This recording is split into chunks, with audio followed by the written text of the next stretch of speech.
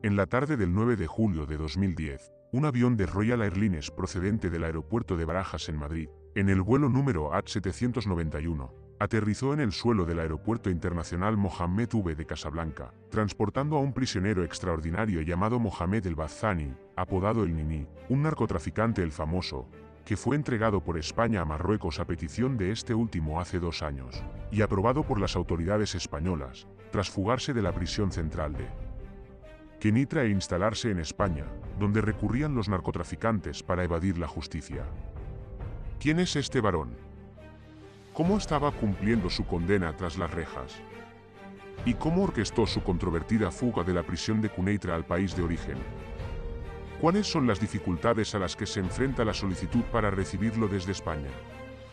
El estado de alerta máxima en las filas de la Policía de Fronteras del Aeropuerto Internacional Mohamed V, de Casablanca, en aquel caluroso día de julio, despertó la curiosidad de los presentes en el vestíbulo destinado a recibir a los viajeros, a pesar de que la entrega del narcotraficante apodado Al-Nini se mantuvo en completo secreto. La extradición de El Nini se produce tras las peticiones urgentes de las autoridades marroquíes tras su estrepitosa fuga de la prisión central de Kenitra, conocida por sus fuertes medidas de seguridad, donde cumplía una condena de ocho años de prisión vigente por un delito menor de tráfico de drogas, que suscitó varios interrogantes sobre las circunstancias y circunstancias de la fuga del narcotraficante más famoso de Marruecos, lo que motivó que el Ministerio Público encomendara la Brigada Nacional de Policía Judicial en Casablanca la resolución de este misterio buscando con el implicado para llevarlo ante la justicia para ser juzgado conforme a las leyes vigentes. ¿Quién es el narcotraficante El Nini? Su verdadero nombre es Mohamed El Bazzani, 34 años, natural de la ciudad ocupada de Ceuta, donde vio nacer a sus padres marroquíes, Tayeb y Rachida, que viven en esta ciudad situada al norte de Marruecos y con vistas al mar Mediterráneo. Mohamed, también conocido como Mohamed Tayeb Ahmed, dejó la escuela muy temprano y también se incorporó a los círculos de pandillas criminales en el barrio caliente, de el principio a una edad temprana. Admiré su espíritu jovial, su osadía y su crueldad con los narcotraficantes esparcidos por la región, pues no les resultó difícil emplearlo como promotor de su veneno. Luego de que confirmaron con los ojos cerrados que estaba en condiciones de dedicarse a esta actividad delictiva, que nunca estuvo exenta de riñas para determinar el área de influencia de cada promoto. Estas peleas, que solo se detuvieron para comenzar de nuevo y en otro lugar y con más violencia, donde las cicatrices en el cuerpo de Mohamed al-Bazzani siguen siendo testigos de aquellas peleas a consecuencia de un golpe que recibió con un objeto cortante en la cabeza, y también testigo de cómo logró librarse de las repetidas persecuciones policiales para detenerlo. Pero a pesar de este éxito, su historial con la policía está cargado de cargos, ya que tiene 17 arrestos por varios cargos, comenzando por cometer cuatro asesinatos, incluida la liquidación de un hombre de seguridad, golpear y herir con una pala, pasando por un sinnúmero de otros casos del narcotráfico, hasta quebrantamiento del orden público, rebelión, atentado contra la autoridad del ejército, y otros. En el juego del gato y el ratón con la policía, que dominaba, el Neni utilizó una táctica que le costó muy cara años después. Esta táctica se basaba en dispararle a las piernas en dirección a Marruecos cada vez que sabía que la policía española lo perseguía mientras continuaba con su actividad de narcotráfico bajo su identidad marroquí, aprovechando la oportunidad para establecer su propia red en zonas remotas. Así, su actividad le permitió conocer así a todos los capos de la droga de Tetuán y sus alrededores, desde los antiguos contrabandistas hasta los jóvenes zorros, que buscan hacerse un hueco en el mundo de este lucrativo comercio, donde la ley de reina el silencio. A través de los altos varones que se hicieron famosos en el campo del narcotráfico a nivel internacional. Aunque el Mimi estaba lejos de España, todavía abastecía este mercado con toneladas de cannabis, que traía de contrabando desde el Palacete a la Costa del Sol en el vecino norte. Ante la prosperidad de su comercio se dispuso en poco tiempo en una flota de lanchas rápidas que inundaron rápidamente Europa con cannabis procedente de la orilla sur del Mediterráneo. Este vertido creó varios enemigos para él ni entre los narcotraficantes, quienes lo denunciaron a los servicios policiales españoles como un importante narcotraficante. El niño travieso que ayer requería que sus perseguidores rastrearan sus huellas para detenerlo simplemente paseando por las estrechas callejuelas de Ceuta, hoy están obligados a sacar su armamento pesado, ya que la Guardia Civil y la aduana española recurren al perseguirlo a utilizar helicópteros y lanchas rápidas, mientras contrabandeaba sus mercancías en grandes cantidades a bordo de sus embarcaciones. Por lo tanto, su apodo El Nini se convirtió en un hecho frecuente en todas las incautaciones de drogas en Europa. En esa época, su apodo habló durante mucho tiempo de su leyenda de ser el rey de los barcos que vivía una vida de lujo, libertinaje y extravagancia hasta el punto de que incluso el impetuoso capo de la droga ya no valía nada para él. Al-Nini se hizo multimillonario, y ahora está sentado sobre una enorme fortuna en moneda europea. Por supuesto, y su edad no supera los 25 años, según estimó la policía española, según consta en una nota oficial. El tamaño de su fortuna en 30 millones de euros. Para demostrar su inocencia de los cargos, siempre ha elegido cuidadosamente a los mejores abogados de España para lavar sus pecados y blanquear sus antecedentes penales. En muchos casos, fue puesto en libertad por falta de pruebas para incriminarlo. Entonces, ¿cómo hubiera sido si el Neni cumplía su pena de prisión tras las rejas? El Neni tras las rejas. Para responder a esta pregunta hay que remontarse años atrás, al año 2003, cuando la policía marroquí consiguió detener a El Neni. Y desde allí investigarlo sobre los cargos que se le imputan. Estos cargos comienzan con la tentativa de asesinato para formar una banda criminal, pasando por la acusación de tráfico internacional de drogas, y luego lo remitieron a la Corte de Apelaciones de Tetuán, que dictó una sentencia en su contra de ocho años de prisión, parte de los cuales pasó en la prisión de Uyuidlu, cerca de la conocida ciudad de Tetuán, con su guardia desenfrenada y el caos esparcido entre sus muros, hasta el punto de que uno se pregunta, ¿quién custodia a quién? Gracias al soborno, que distribuyó generosamente entre sus corruptos carceleros, el Nini pudo hacer lo que quisiera dentro de esta prisión, donde disfrutó de muchos privilegios que lo convirtieron en un preso extraordinario. Hasta el punto de que no solo podía salir por la puerta de la prisión y regresar a ella por la misma puerta para dormir en su celda, sino que podía pasar más noches fuera de sus paredes de las que solía pasar en su celda con aire acondicionado. También podría cumplir su pena de prisión como si la estuviera cumpliendo en un hotel de cinco estrellas. Sin embargo, el Nimi no fue el único capo de la droga que fue alojado en la prisión de Tetuán, sino que hubo otros capos, lo que alimentó el conflicto entre ellos dentro de los muros de este espacio, ya que sus oponentes orquestaron una rebelión mientras él estaba fuera de la prisión lo que llevó a su exposición, marcando así el final de este incidente. Una vida de lujo y extravagancia en la que se deleitaba incluso mientras estaba en prisión. Un año después, las autoridades españolas solicitaron su extradición por cargos de narcotráfico internacional, y sus abogados se quedaron al margen ante tales solicitudes, ya que siempre lo habían absuelto de tales cargos como no absolverlo hoy, sobre todo porque es un tema muy simple que solo requiere probar que el Nini no solo es Mohamed Tayeb Ahmed buscado por las autoridades españolas, también es Mohamed el Ouazzani de nacionalidad marroquí. Así, la ley marroquí es clara al respecto, ya que establece que los marroquíes no salen al extranjero. En consecuencia, la solicitud española de extradición del Nini fue rechazada. Pero en 2005, estalló una pelea entre el Neni y su pandilla por un lado, y el traficante de drogas apodado Volvorace y su pandilla por el otro. Sin embargo, se impuso este último, que ahora extiende su control al interior del penal. Muhammad al-Bazani no tuvo más remedio que huir al extranjero.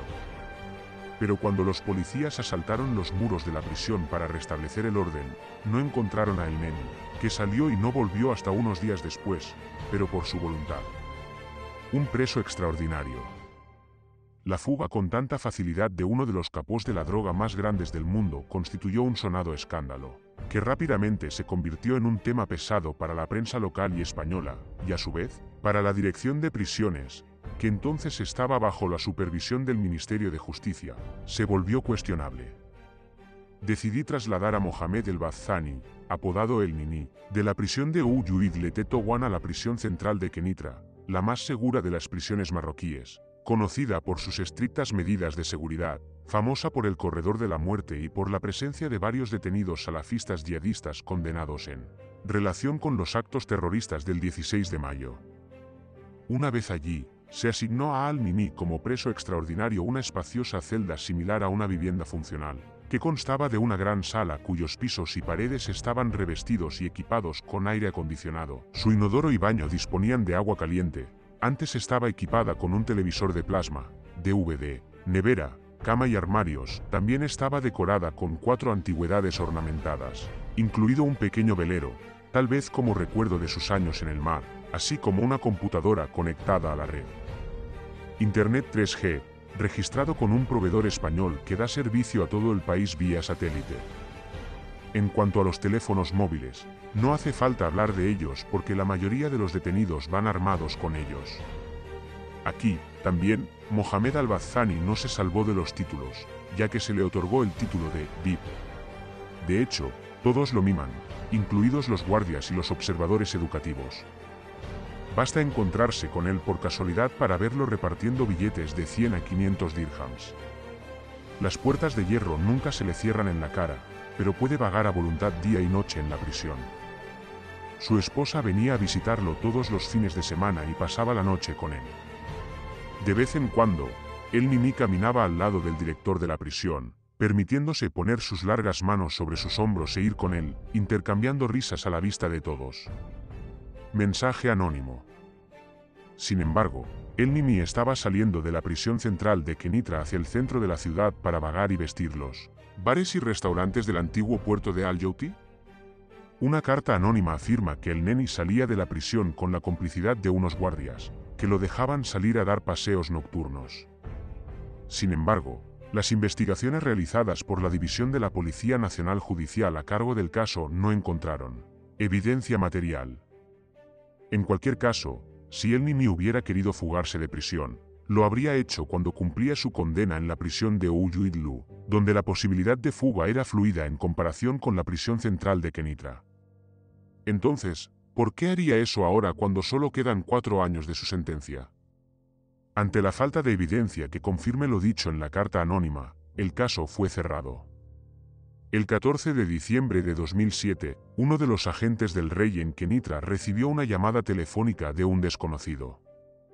En el otro extremo del teléfono estaba una persona que se negó a revelar su identidad, presentándose solo como un benefactor, quien le dijo al agente del rey que el neni no estaba en prisión.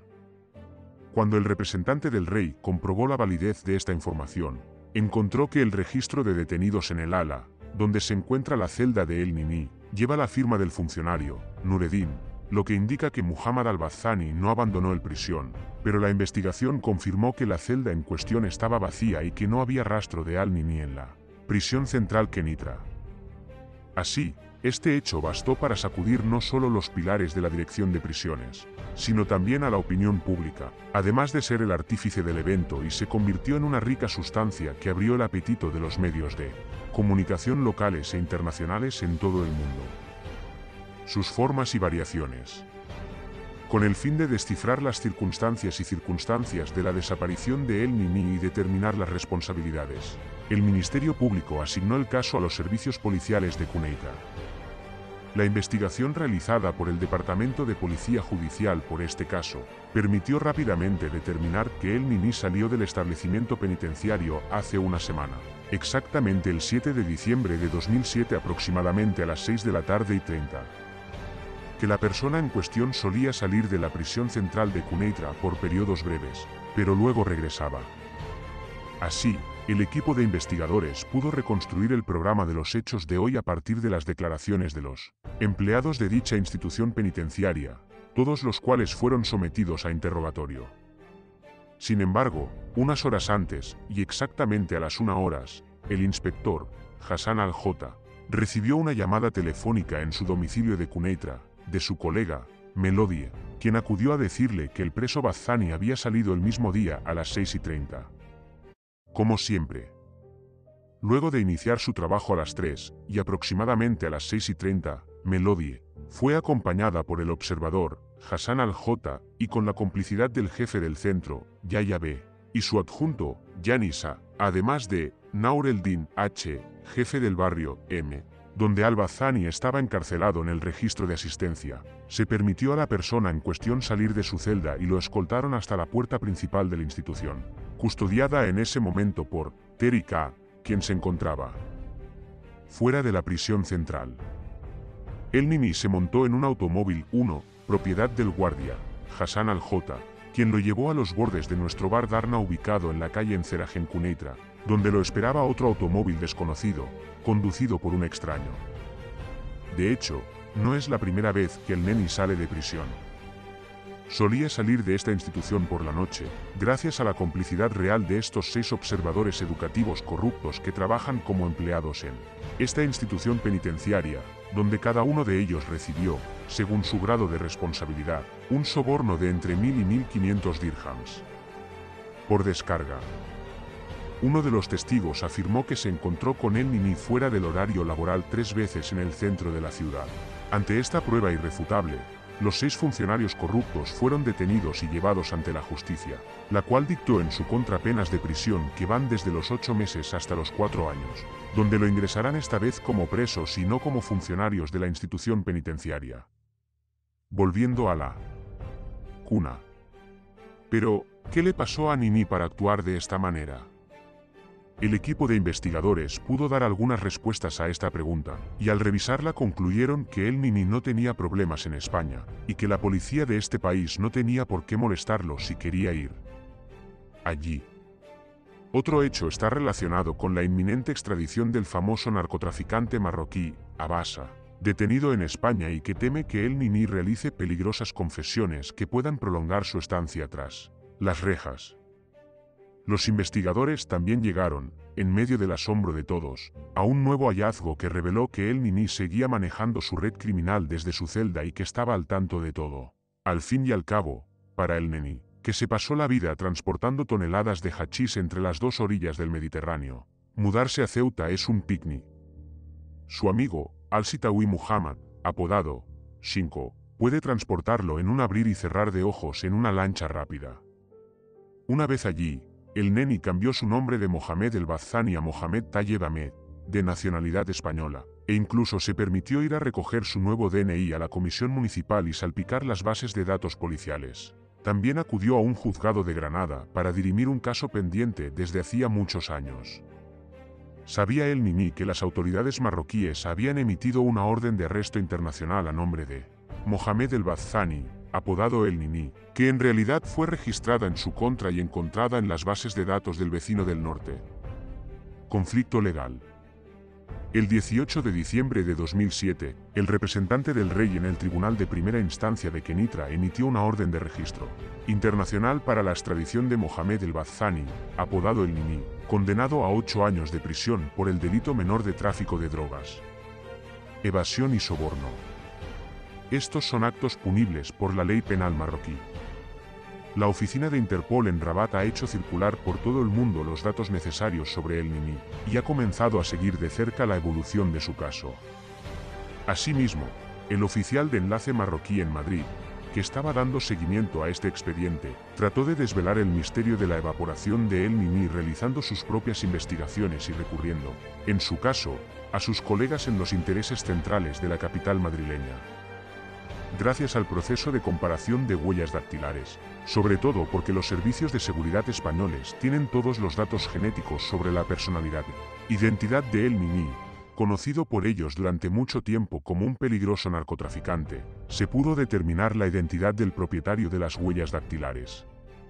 ¿Quién lleva el apodo de El Nini? Por lo que finalmente se cambió la orden de captura internacional para centrarse en esta identidad.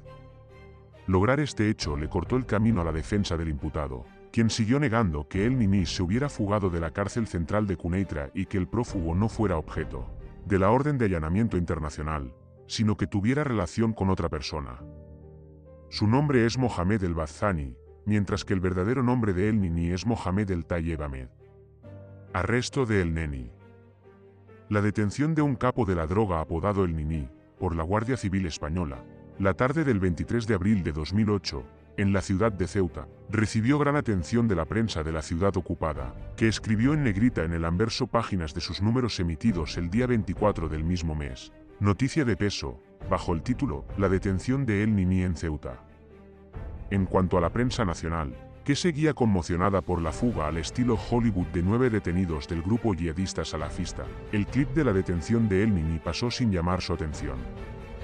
Pero no con la oficina de Interpol en Rabat, que envió una carta indagatoria sobre el asunto a su homóloga de Madrid, pues no tardó en confirmar la noticia de la detención del citado Mohamed el Bazani, apodado El Nini, también conocido en los registros de los servicios policiales españoles como Mohamed Tayeb Ahmed, quien tiene el mismo título.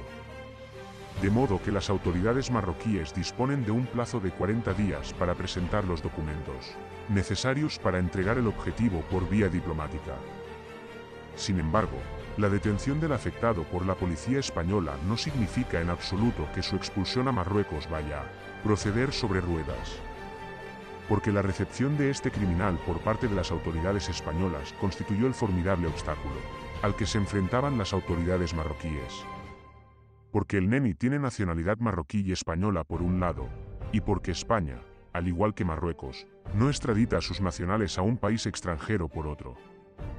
La única carta en manos de Marruecos como solución a esta difícil ecuación es despojar a El Neni de su nacionalidad española, según la ley marroquí.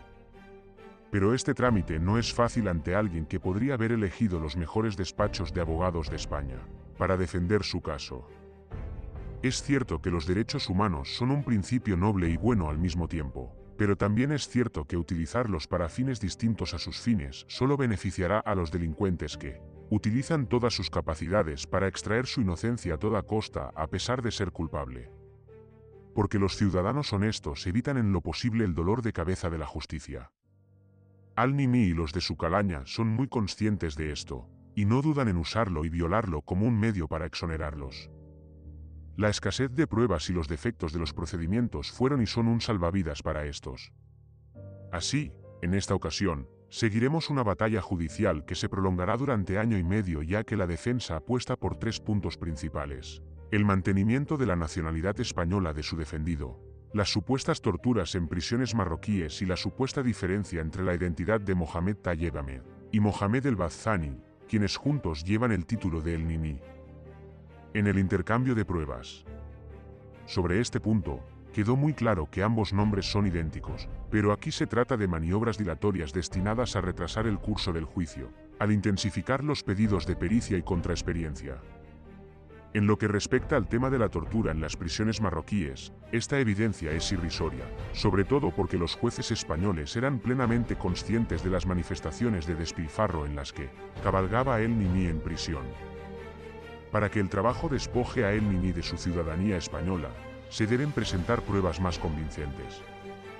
De hecho, los jueces españoles no tienen nada en lo que pensar, sobre todo porque el Nini se naturalizó mediante una ley de selección que incluía a todos los sabáticos. Pero la culpa de El Nini es que fue despojado de su nacionalidad española el día que las autoridades españolas solicitaron su extradición desde Marruecos, cuando sus abogados pusieron entonces sobre la mesa su nacionalidad marroquí para impedirlo, algo que los jueces españoles interpretada como mala fe que afecta profundamente la credibilidad de esta elección, pues el imputado obra en el empleo de su nacionalidad según las circunstancias. Lo que se consideró una victoria para la parte marroquí, ya que los funcionarios marroquíes se sintieron abrumados con un profundo placer al leer el fallo emitido por él juez Francisco Manuel Gutiérrez Romero en la Corte de Madrid. Acordar la pérdida de la nacionalidad española de opción de Mohamed Tayeb Ahmed. No es necesario dominar varios idiomas para entender que el tribunal despojó al acusado de su nacionalidad española. Entrega y deportación. Ante la sentencia judicial de privación de la nacionalidad española a El Nini, seguimos una serie de recursos interpuestos por la defensa de este contra la decisión de la Audiencia Nacional. A pesar de ello, los jueces confirmaron la nulidad de la ciudadanía española y la consiguiente extradición. En su informe, el tribunal decidió aceptarlo en la etapa judicial, sin perjuicio de la decisión final del gobierno de la nación de extraditar solicitada por las autoridades judiciales de Marruecos, y cumplir el resto de la pena de prisión de tres años, ocho meses y siete días. El Consejo de Ministros español, en su reunión del 21 de junio de 2009, aprobó la decisión de expulsión y extradición de Ahmed El Tayeb El Bazani, apodado El Nini. La decisión del Consejo de Gobierno español da cumplimiento a la sentencia dictada por la Audiencia Nacional Española el 11 de septiembre de 2008, que ordenó su extradición a Marruecos. También llega a pesar de que el Tribunal Europeo de Derechos Humanos de Estrasburgo aceptó pronunciarse sobre la petición presentada por la defensa de El Nini, uno de los mayores capos de la droga, basándose en la nacionalidad española del afectado, con el objetivo de evitar la extradición a Marruecos tras fugarse de la prisión central de Kenitra, y después de que el Tribunal Constitucional rechazara en apelación la decisión del Tribunal Supremo, que ordenaba su extradición. La mencionada decisión fue publicada sin demora en el sitio web del gobierno. A pesar de las desesperadas protestas contra la decisión del tribunal de despojar a El Neni de su ciudadanía, la decisión del gobierno español de entregarlo a las autoridades judiciales marroquíes, estas protestas no cambiaron nada sobre la orden de extradición emitida por la Audiencia Nacional Española. Esta extradición, que llega tras peticiones urgentes de las autoridades marroquíes, tras su estrepitosa fuga de la prisión central de Kenitra, conocida por su máxima seguridad, donde cumplía una condena de ocho años de prisión en vigor por el delito menor de tráfico de drogas. Ya ha sido deportado a Marruecos, donde ha sido llevado ante la justicia para ser juzgado de conformidad con la ley, discutir con él las circunstancias y circunstancias de su fuga de la prisión central de Kenitra y cumplir el resto de su condena. Pena de prisión y su deportación a Marruecos es un mensaje claro para los capos de la droga de que no hay refugio, seguro para que todos los contrabandistas de estas toxinas escapen al castigo. La familia de Ahmed Al-Tayeb apodado Al-Nini, se prepara para dar una conferencia de prensa en los próximos días para arrojar luz sobre su caso, que estalló desde el pasado lunes, luego de que se expusiera un tiroteo. En la costa marroquí, a manos de una banda desconocida, y aún se desconoce su destino. Según datos obtenidos por el diario Al-Akhbar en su edición del viernes 8 de agosto, la madre de El Bazzani protestó hoy jueves ante la Comisión de Seguridad de la Ceuta ocupada, exigiendo saber la suerte corrida por su hijo desaparecido desde el accidente del pasado lunes. A su hijo en el puerto turístico de Ceuta.